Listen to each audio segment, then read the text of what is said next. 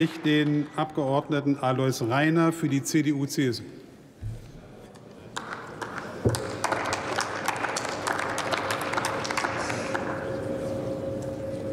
Sehr geehrter Herr Präsident, liebe Kolleginnen und Kollegen! Eine gesunde und ausgewogene Ernährung ist die Grundlage für ein gutes Leben. Wie richtig ist diese Aussage?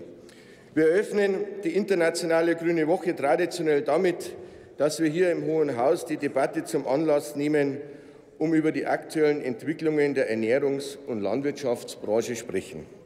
So zum Beispiel auch über die neuesten Erkenntnisse des Ernährungsreports 2018 der Bundesregierung, der aussagt, dass sich die Ernährungsgewohnheiten der Menschen in Deutschland verändern. Der Verbraucher interessiert sich mehr denn je über die Herkunft, die Herstellung und die Zusammensetzung der Lebensmittel. So heißt es auch, dass der überwiegende Teil, ca. 63 Prozent, bewusst einkauft. Auch der Verbraucher ist bereit, mehr für Qualität und Lebensmittel zu bezahlen. Und wenn Sie den Verbraucherschutz ansprechen, kann ich Ihnen, meine sehr verehrten Damen und Herren, nur bestätigen, dass es selbstverständlich unsere Aufgabe ist, den Verbraucher informieren zu lassen. Die Sicherheit für die Verbraucherinnen und Verbraucher ist richtig und wichtig und muss zu jeder Zeit gewährleistet sein. Aber aber meine, meine sehr verehrten Damen und Herren, lassen Sie mir auch dazu sagen, dass wir in Deutschland im weltweiten Vergleich schon jetzt die höchsten Sicherheitsstandards und die strengsten Gesetze im Ernährungsbereich haben. Aber auch selbstverständlich gibt es auch Punkte, über die wir weiter konstruktiv diskutieren müssen. Kein Thema, aber auch mit der Unterstützung der Wissenschaft. Und meine Damen und Herren, in vielen Regionen können wir regionale Lebensmittel direkt vor der Haustür produzieren und die auch dementsprechend erwerben. Und liebe Frau Kollegin Mindner, mir ist es schon ganz recht als Lebensmittelproduzent, dass wir regional einkaufen.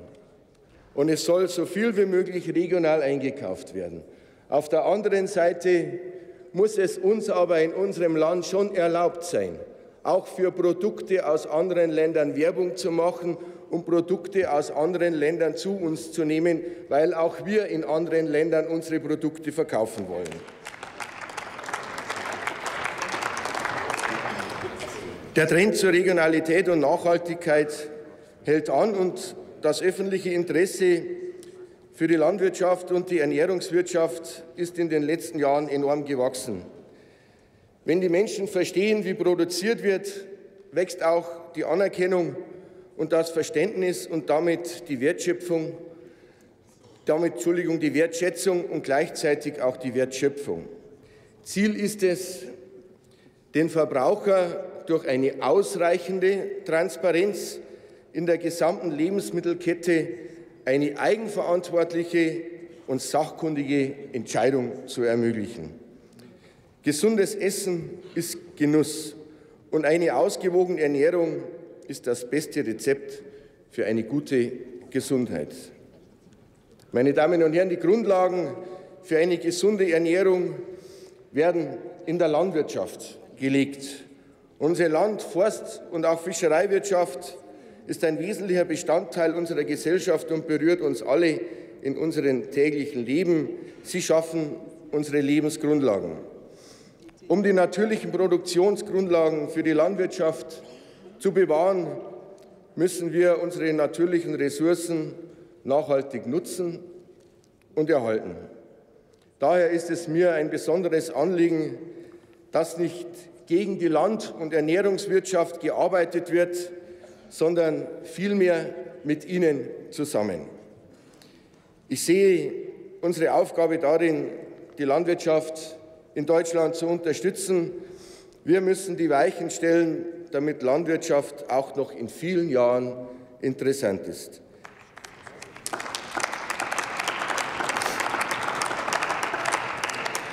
Das heißt, unter anderem auch, dass wir den Landwirten die Möglichkeit geben, im Stall und auf den Feldern zu arbeiten und nicht durch mehr und zum Teil auch unnötige Bürokratie in die Büros fesseln. Wir brauchen eine selbstbewusste und nachhaltige und vor allem eine wettbewerbsfähige Landwirtschaft. Und lassen Sie mich abschließend noch einen Dank aussprechen. Ein besonderer Dank er geht an all diejenigen, die dafür sorgen, dass die Ernährungs- und Landwirtschaft, die Land- und Ernährungswirtschaft in Deutschland eine, eine gute Sparte in unserem Land ist. Aber lassen Sie uns mit denen zusammen in dieser Sparte für weitere gute Ernährung für unsere Menschen in unserem wunderbaren Land sorgen. Vielen herzlichen Dank.